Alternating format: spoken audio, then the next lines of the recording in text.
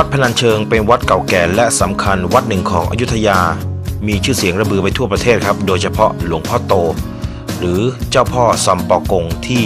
พุทธศาสนิกชน ทั้งชาวไทยและชาวจีน ต่างให้ความเคารพนับถือมาช้านานครับ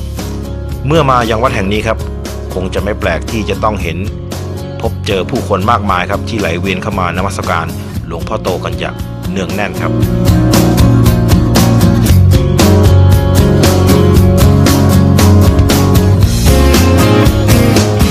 พนัญเชิงครับตะกี้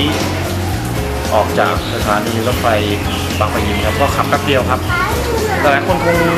คงจะมาอยุธยาถูก เพราะว่าไม่น่าจะหายากตรงไหนจากแผนที่นะก็วิ่งสายเอเชียมาก็ได้ แล้วก็แวะไปบางปะอิน แล้วก็เลี้ยวเข้าบางปะอินนะแล้วก็จะมีถนนเส้นเดียวครับแล้วก็มีจะป้ายมีป้ายเขียนเลยว่ามาวัดพนัญเชิงแต่คนที่รู้สึกตื่นเต้นที่สุดเป็นที่หลังครับรู้สึกว่าแกผมสังเกตเห็นนะ เมื่อเราไปทริปต่างๆ ตามจังหวัดต่างๆ เวลาใกล้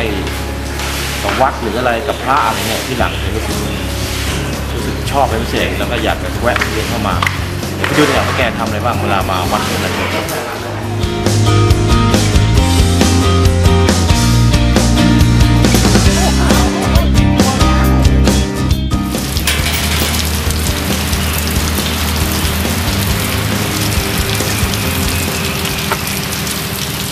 ซื้อหวยชุด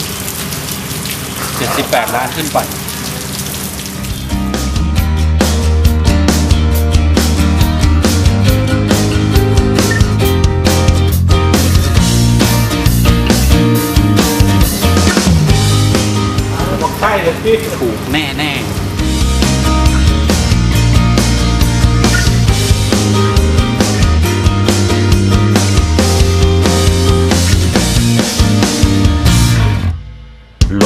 เป็นพระองค์หนึ่งซึ่งเป็นที่เคารพนับถือในหมู่ชาวจีนมากครับ โดยเรียกกันว่าซัมปอกงหลวงพ่อโตหรือพระพุทธไตรรัตนนายก เป็นพระพุทธรูปศิลปะสมัยอู่ทองตอนปลายครับ ปางมารวิชัย ซึ่งมีขนาดหน้าตักกว้าง 14.20 เมตรครับ แล้วก็สูงประมาณ 19.20 เมตร ก็ทำจากวัสดุปูนปั้น แล้วก็ลงรักปิดทองครับท่านผู้ชมครับเมื่อสักครู่ผม เข้าไปในพระอุโบสถโหโตที่นี่นะอยุธยานะยังไม่เคยเห็นการทอดผ้าเอ่อเราเรียกว่าเปลี่ยนผ้าไตรเปลี่ยนผ้าไตรองค์พระนี่นะครับ รับจากข้างล่างไม่ต้องมองอู้โยนขึ้นไปมีคนรับปุ๊บข้างบนขอโทษนะครับ เป๊ะเวอร์อะข้างบนยืนเหมือนยืนอยู่เฉยๆรับผ้าปั๊บปั๊บเนี่ยผมดูภาพอะไรอะไรอยู่ในกระเป๋าอะไรอะไรถวายสังฆทานแต่แล้วก็ตามสไตล์ผมเนี่ยตามสูตร ก็ต้องเสี่ยงเซียมซี ข้อหนึ่งทำนายว่าท่านมีความนึกคิดหมกมุ่นอยู่ในกรณีต่างๆ ในใจ โอ้เป๊ะ ข้อสองเนี่ยอะ เพราะชะตาราศีของท่านมีอริอยู่ มีอริ ตัวใหญ่ หัวโล้นใส่แว่นป่ะ ใส่แว่น เป๊ะอีกแล้ว ข้อสามทำนายว่าให้แสวงหากิจการงานอันเป็นที่พึ่งแก่ตนโอ้ต้องทำเอง ทำเองเอาข้อสุดท้ายเลยเขาเขียนว่าสรุป ทำนายว่าเมื่อท่านได้รับความสบายแล้วก็ควร หวนขวายหาความสบายที่ไร้อาธรรมไม่ดีเอาไปเก็บไว้ตรงไหนได้ฝากทิ้สิ่งที่ไม่ดีเก็บไว้ที่เขา ไม่ว่าจะตัวหนังสือเป็นอะไรฮะ เดี๋ยวบทดูบทสรุปของพี่หลังว่าจะออกมาเป็นตัวอะไรคขรับ อให้เสียง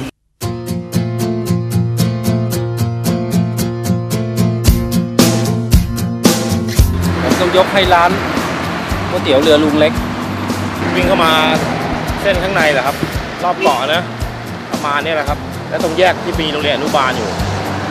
ก็ลองดูฮะอาจจะเป็นอีกหนึ่งหนึ่งร้านที่ให้ได้ลิ้มรส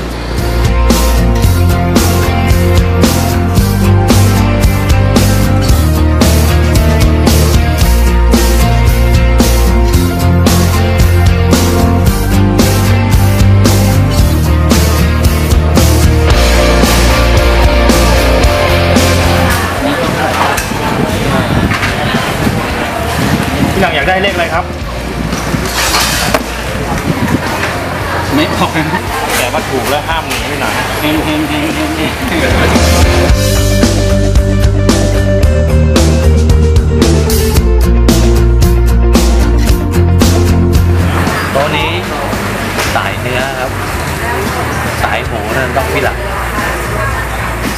ก็ถือว่าเป็นร้านก๋วยเตี๋ยวเรือที่ได้รับความนิยม นจังหวันครศรีอยุธยาจริงๆมีเยอะแล้วก็มีหลายร้านมากๆเดี๋ยววันนี้อาจจะเป็นทัวร์แบบทัวร์กินเลยก็ได้ก็อยากไหว้พระแล้วเดี๋ยวจะพาไปชิมเลยชิมช็อปในมีอีกอย่างของคาวก่อนจะพาไปทานไอศกรีมกะทิของอยุธยารับรอง ไม่แพ้ที่ใดในโลกไปถามพี่หลักก่อนดีกว่าเป็นยังไงครับโอ้กำลังปรุงเลยกำลังปรุงอย่างนี้เลย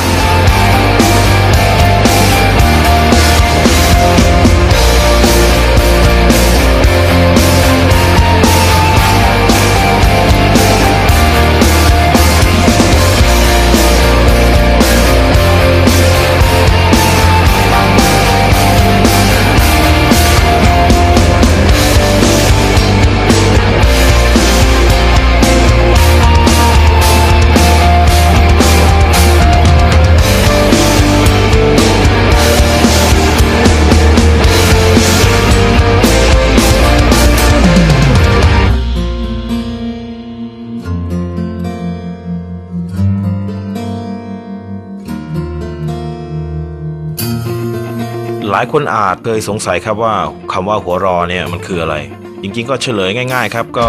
คือทำนกที่สร้างขึ้นเพื่อสำหรับเบี่ยงเบนกระแสน้ำในแม่น้ำครับ จริงๆแล้วเนี่ยเรียกอีกชื่อหนึ่งว่าอย่างเป็นทางการครับทำนกรอครับเห็นของเล่นแล้วก็นึกถึงสมัยเยาว์วัยเลยย่านพวกเนี้ย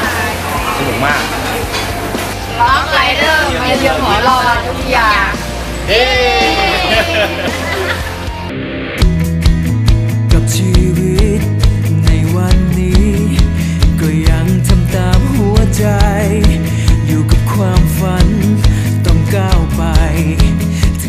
นำนบดังกล่าวครับ นอกจากจะมีประโยชน์ในเรื่องกระแสน้ำแล้ว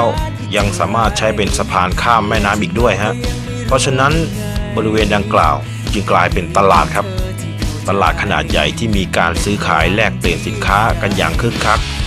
เพราะว่าเป็นจุดที่เวียนบรรทุกสินค้าต่างเมืองสามารถข้ามฝั่งเข้ามายังเกาะเมืองพระนครศรีศรีอยุธยาได้ครับ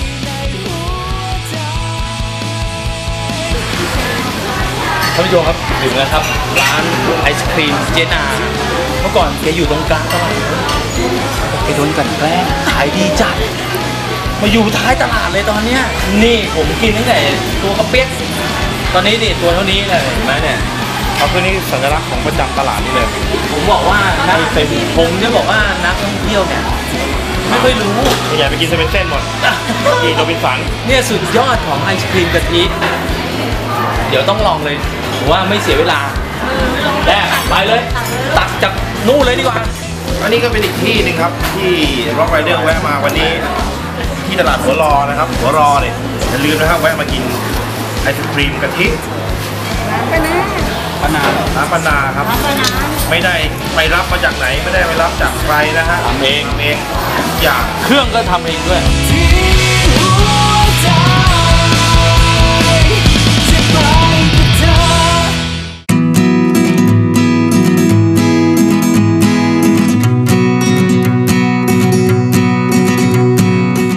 เลี้ยวซ้ายเข้าสู่ถนน 3350 เพื่อมุ่งหน้าสู่อำเภอด่านช้าง ซึ่งที่นี่ครับก็จะมีอีกจุดหนึ่งที่น่าจะแวะได้อีกครับคือเขื่อนกระเสียวครับใครอยากจะแวะก็แวะก่อนได้เลยนะครับออกจากอำเภอด่านช้างเลี้ยวขวาเข้าสู่ถนน 333 วิ่งไปอีก 15 กิโลเมตรครับ ก็จะถึง 3 แยกบ้านวังคัน ตรงนั้นครับให้เลี้ยวซ้ายตรงแยกนี้เลยฮะ เข้าสู่ถนน 4302 มุ่งหน้าสู่ที่ทำการอุทยานแห่งชาติพุเตยครับ ซึ่งห่างจากจุดแยกนี้ไม่เกิน 20 กิโลเมตรครับ